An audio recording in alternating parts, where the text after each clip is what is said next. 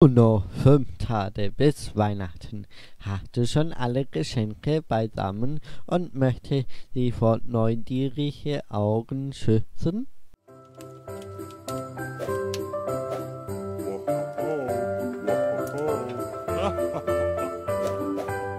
Am nächsten Tag fanden die drei Ausrufezeichen einen Briefumschlag auf einem Fensterbrett des Cafés. Für das Orga-Team stand in Druckbuchstaben darauf. Nanu wunderte sich Kim.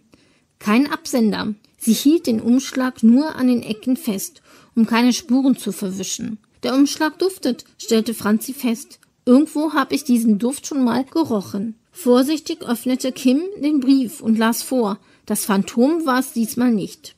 Quinn wurde wirklich entführt. Ein anonymer Brief von unserem Phantom. Es ist tatsächlich in unsere Falle getappt. Franzi sah sich die Handschrift genauer an. Die Schrift kommt mir irgendwie bekannt vor. Kim holte ihr Fingerabdruckset heraus. Jetzt sichern wir mal als erstes die Fingerabdrücke. Der Absender hatte gleich ein paar Abdrücke auf ihren Brief hinterlassen.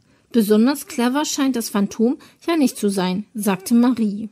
Ein, zwei oder drei, was glaubt ihr? Welcher Fingerabdruck ist von Kim?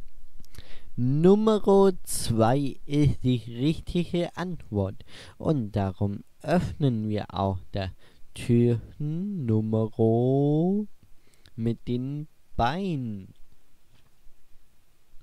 So, und da